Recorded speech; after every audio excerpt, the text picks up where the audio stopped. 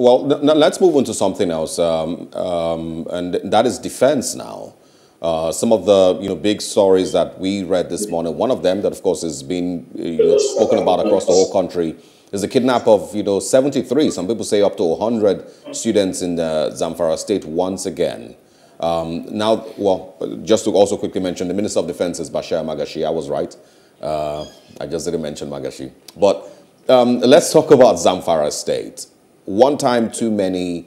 Um, it feels like clockwork. It feels like it happens every two weeks. Once they release a set, they take a new set. Um, what would you say is going on with regards kidnapping in Nigeria? Um, I think it's a very simple answer, and I think it's the collapse of internal security in our country. Um, internal policing has failed, um, and it's been on a downward spiral in the last 30 years. Um, we haven't built a competent police force.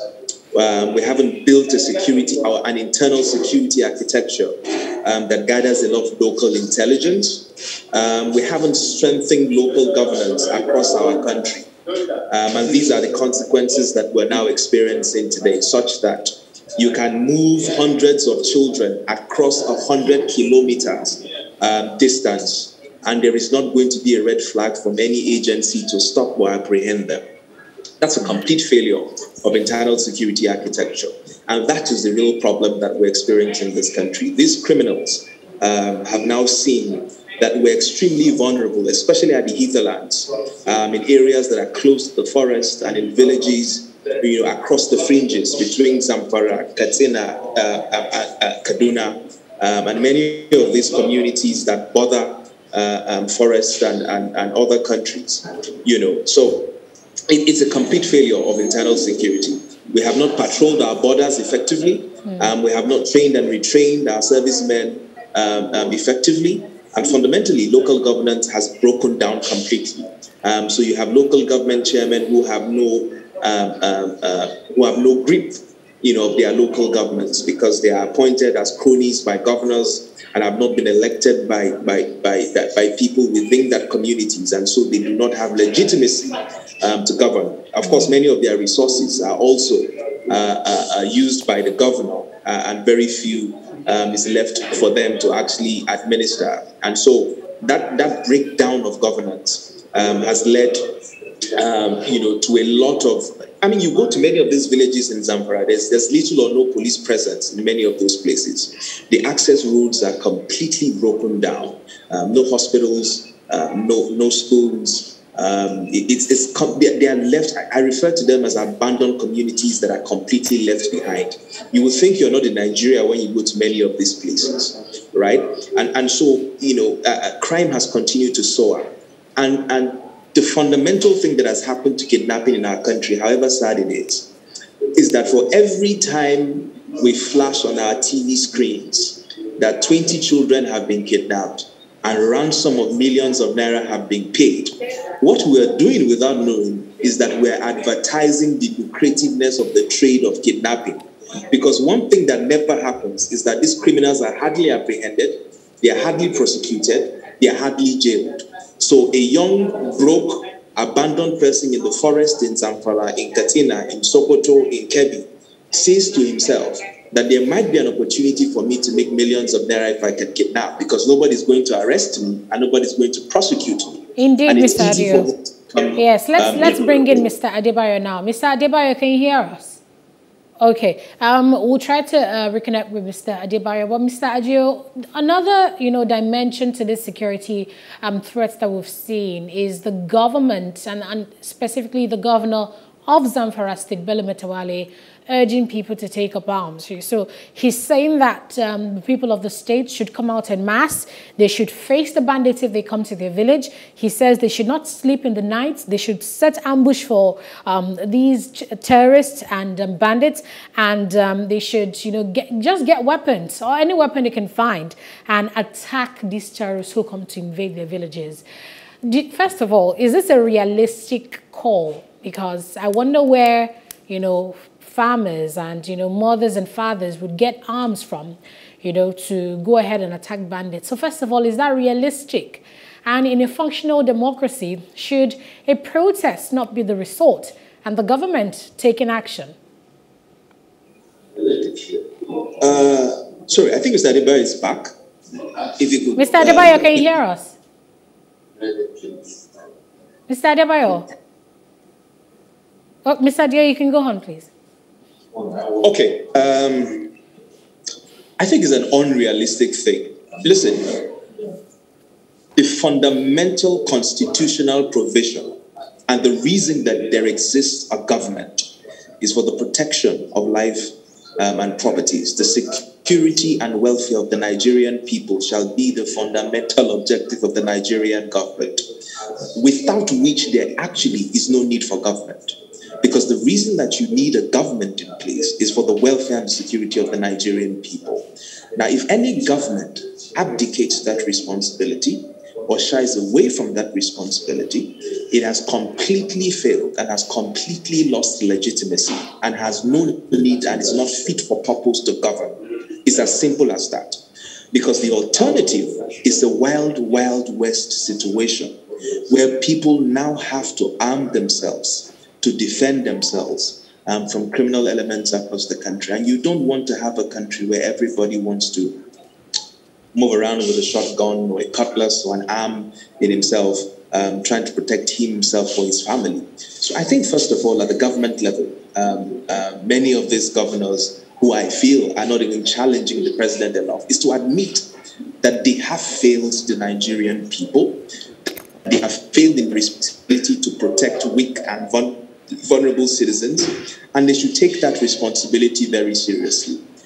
The Nigerian citizens do not have the capacity to protect themselves from criminals who are wielding AK 47s. So I think it's a pipe dream, and I think it's sad, if not embarrassing, um, that we'll be urging um, innocent farmers um, to defend themselves from criminals who are clearly armed um, with superior weaponry, um, who, are, who are taking over villages, who are killing people in their tens and in their hundreds to now defend themselves against those people. I think it's sad. Um, uh, uh, uh and I choose my words uh, carefully. Um, it's borderline irresponsible because you, you cannot expect. I mean, what are you going to do against an AK 47 wielding bandit or kidnapper or terrorist? There's absolutely nothing you can do about it. You're bringing a knife to a gunfight. And it makes no sense that a government that we pay taxes to, that we pledge allegiance to, will be throwing it back to us to say we should protect ourselves when they move around in SUVs with security escorts everywhere, where their children are, are, getting education outside this country, when their families are highly protected, when they live in high gated estates, uh, uh, uh, highly policed and protected, and we are faded uh, and banded to the Philistines, it's absolutely ludicrous it's absolutely ludicrous, and we cannot accept this. It's their job and it's their responsibility to protect the Nigerian people. And it is ridiculous to even imagine that we should be having the conversation that the Nigerian people should protect themselves. It makes no sense and must not be accepted or tolerated well, um, uh, uh, in our democracy. No Adio, I, am guessing that you, you know, the failure that you have, you've mentioned now um, where you pointed out that you know a government that has failed uh, in, in in that regard of that very very fundamental uh, requirement of governance, um, and you know and should be able to own up, you know, and agree that they have failed, and you know, I'm guessing that that covers the state and federal and local level of governance. Okay. Yes, top to bottom. Okay. Top um, to bottom. Mark Adebayo, can you hear us? I've been hearing you all along. Well, for some reason we couldn't hear you. I apologize for your power situation. It seems uh, the power is off again. Um, but I want to bring you back you know, with regards to the incident in uh, Zamfara. Uh, the kidnap of 73 or 100 uh, students once again uh, that has uh, taken place.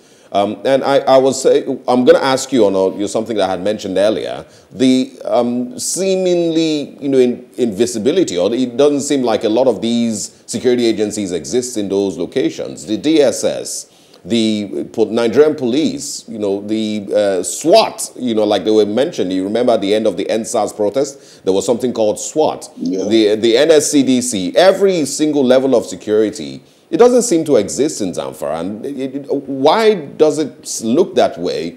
That 100 people can be taken 100 kilometers away and there's no resistance anywhere.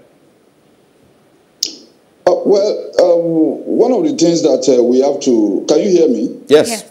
Loud and clear. Go ahead. Okay, now, well, you know, there seems to be a collapse of government. There seems to be a total collapse of governance structures in this country, and it's quite unfortunate. We are tending towards, critically tending towards a state failure.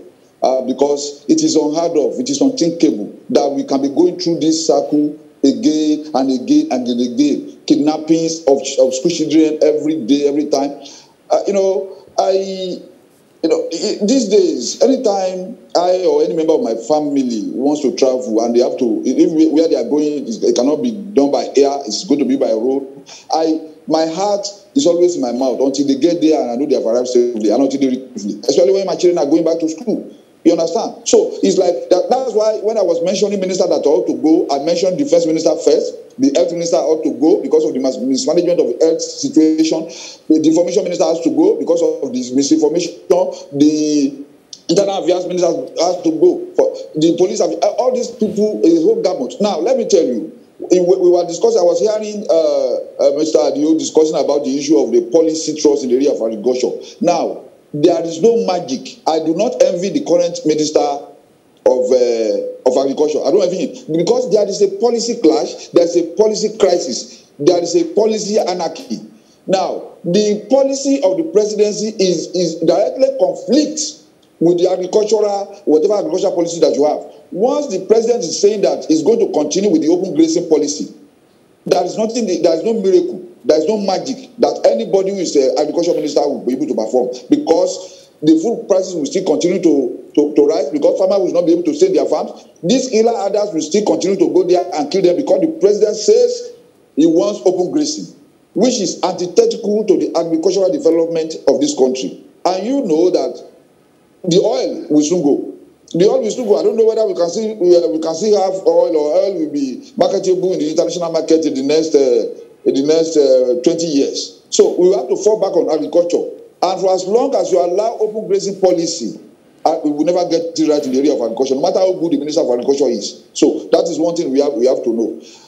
Uh, when the government is unable to protect its people, when the government has lost the legitimate use of force to protect the people, we are turning towards state failure. If bandits or criminals can just walk into the Nigerian Defence Academy to kill people, if bandits can drive bomb into the police headquarters and bomb it, and uh, who is going to protect us? If our security agencies have, uh, the Katsina state government came out to say defend yourself, he's telling the people to defend yourself. The Zamfara state government came out to say defend yourself. Now, but when the Benue state government, Samuel Autumn, said the same thing, about a year ago, the federal government came hard on him.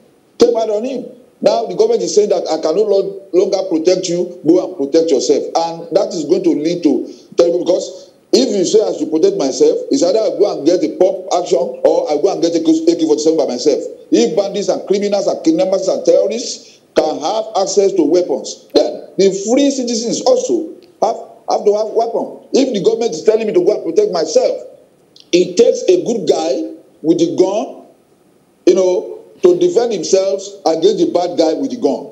And we should not allow that thing to spiral out of control. It's unfortunate that we have failure of governance. Now, the president can sack the ministers. Who is going to sack the president?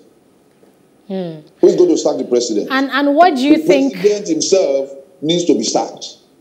Hmm. That is that is that is the bitter truth. And in a situation where these bandits are apprehended, and then you know the military says you know they have surrendered, that they are now repentant, and they reintegrate them into society, they forgive them. You know, where does that leave our anti-terrorism war?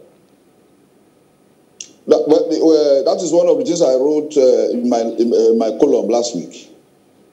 Nowhere in the world Nowhere in the issue of terrorism has any terrorist ever repented. There is no repentant terrorist anywhere. What they do is that they deceive you that they have repented. Look, all those people they say they are repentant Boko Haram members who are now in the city. You can see the upsurge in Boko Haram attacks now. That is because those people they release into the society are gathering intelligence real time and sending back same to their commanders in the bushes. That is why you are seeing the upsurge. You understand? That's why ISWAP is, is gaining ground now. You are releasing, you are releasing terrorists who have killed people, who have maimed, who have raped, who have displaced millions of Nigerians, displaced many, many millions of Nigerians. You said they are repentant.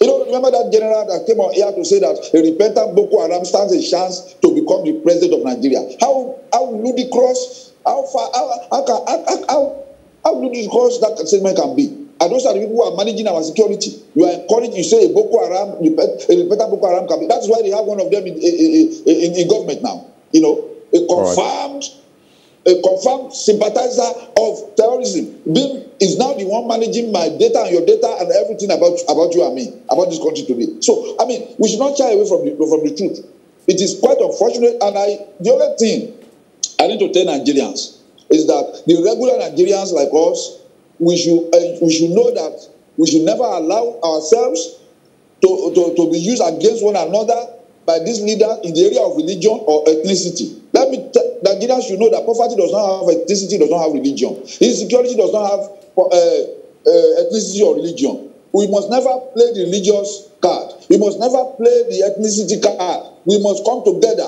and make sure that we find peace. In fact, let's forget about even blaming anybody anymore. Let us find a way. Let that be a massive action in terms of finding peace, solution to our problems, to our common problems. All, All right. these people um, that are the higher, higher places, they are protecting themselves never allow anybody to use religion or ethnicity, you know, to determine how how you respond to national issues. And I think Nigerians must know that. We must know that. We, we, are, we are divided enough. No more division. Let us come together and find common solution to our issues. That is, that is my message directed to Nigerians this morning. Marco Adebayo, uh, thank you very much uh, for staying with us all through thank the you. discussion this morning. Once again, apologies for your uh, power situation. Uh, but we thank you for uh, still, you know, joining the conversation.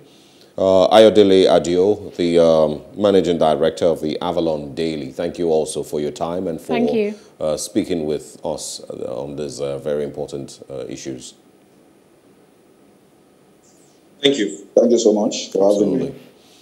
All right. Thursday morning, uh, and this is where we will be wrapping up the discussions on the uh, breakfast this morning.